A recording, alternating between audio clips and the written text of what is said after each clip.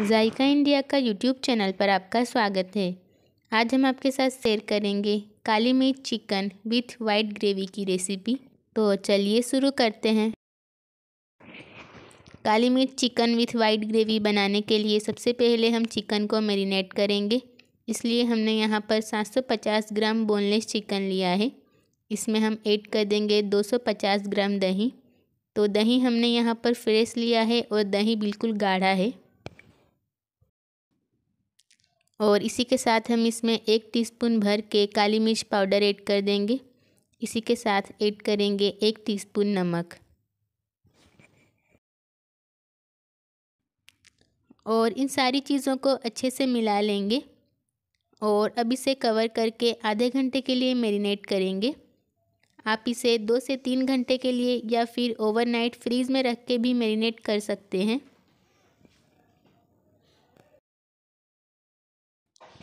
और अब हमने एक पैन में एक चौथाई कप तेल लिया है। इसमें हम ऐड कर देंगे एक टेबलस्पून बटर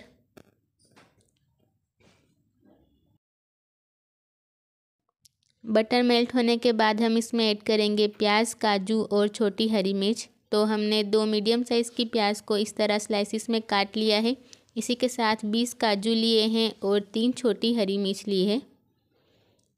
और अभी हमें प्याज को तब तक फ्राई करना है जब तक ये थोड़ी सॉफ्ट ना हो जाए। क्योंकि हम वाइट ग्रेवी बना रहे हैं तो प्याज का कलर चेंज नहीं करेंगे। बस ये हल्की सी सॉफ्ट हो जाए तब तक हमें इसे फ्राई करना है। तो कुछ देर तक फ्राई करने के बाद अब देखेंगे कि प्याज थोड़ी सॉफ्ट होने लगी है।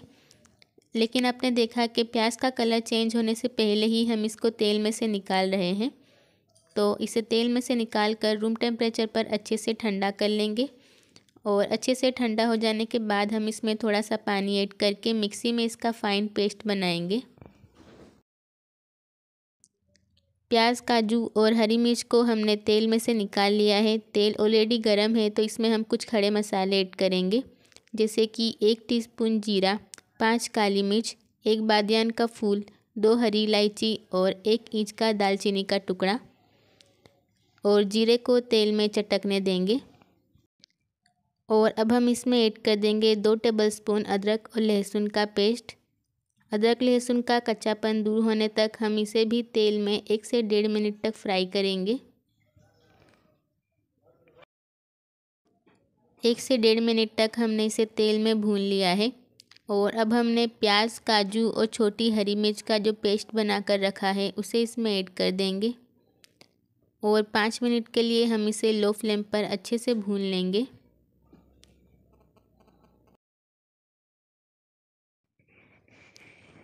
तो मसालों को लो फ्लेम पर भूनने के बाद हम इसमें ऐड कर देंगे मेरीनेट किया हुआ चिकन। मिला लेंगे इसे और अभी हमें इसे लगातार चलाते हुए हाई फ्लेम पर पाँच से सात मिनट के लिए और भून लेना है। तो इस मसाले के साथ चिकन को हाई फ्लेम पर पकाएँगे और इसे लगातार चलाते रहेंगे। तो यहाँ पर इसे लगातार चलाते हुए हमने पाँच से सात मिनट के लिए हाई फ्लेम पर भून लिया है। और अभी हमें चिकन को गलाना है, इसलिए हम इसमें एक चौथाई कप पानी ऐड कर देंगे। तो मैरिनेशन के बोल को खंगाल कर एक चौथाई कप जितना पानी हमने इसमें ऐड कर दिया है। तो इस चिकन ग्रेवी में हम पानी की क्वांटिटी थोड़ी कम ही रखेंगे। इसे अच्छे से मिला लेंगे और अब हम इसे कवर करके लो फ्लेम पर 20 से 25 मिनट के लिए पकने देंगे। बीच बीच में इसे चेक कर लेंगे, क्योंकि हमने इसमें काजू ऐड किए हैं। अगर हमने इसे चेक नहीं किया तो नीचे दाग भी लग सकता है। बीस से पच्चीस मिनट तक लो फ्लेम पर पकाने के बाद आप देखेंगे कि इसमें से तेल रिलीज़ होने लगा है और चिकन की मसालों के साथ अच्छे से भुनाई हो गई है। तो एक बार इसे चेक कर लेंगे। काली मिर्च चिकन की इस रेसिपी को आप अपने घर पर कभी भी ट्राई कर सकते हैं, क्योंकि ये बहुत ही सिंपल रेसिपी है और बहुत ही टेस्टी डिश बनकर तैयार हो जाती है। और इस स्टेज पर हम इसमें काली मिर्च का पाउडर और नमक ऐड करेंगे।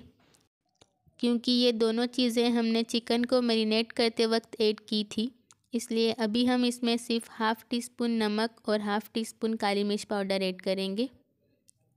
मिला लेंगे इसे। और इसी के साथ हम इसमें मलाई ऐड करेंगे। तो हमने यहाँ पर दो टेबलस्पून मलाई ली है। आप यहाँ पर दो टेबलस्पून जितनी फ्रेश क्रीम भी ऐड कर सकते हैं। तो क्रीम या फिर मलाई ऐड करने के बाद हम इसे लो फ्लेम पर एक से डेढ़ मिनट के लिए और पकाएँगे। तो मलाई ऐड करने के बाद हमने इसे एक से डेढ़ मिनट तक और पका लिया। तो यहाँ पर आप देख सकते हैं कि काली मिर्च चिकन बनकर बिल्कुल तैयार है। अब हम गैस की फ्लेम को ऑफ़ कर देंगे और इसमें थोड़ा सा हरा धनिया ऐड करके अच्छे से मिला लेंगे। तो देखा आपने कैसे झटपट बहुत ही आसानी से चिकन की मज़ेदार सी रेसिपी बनकर तैयार हो गई।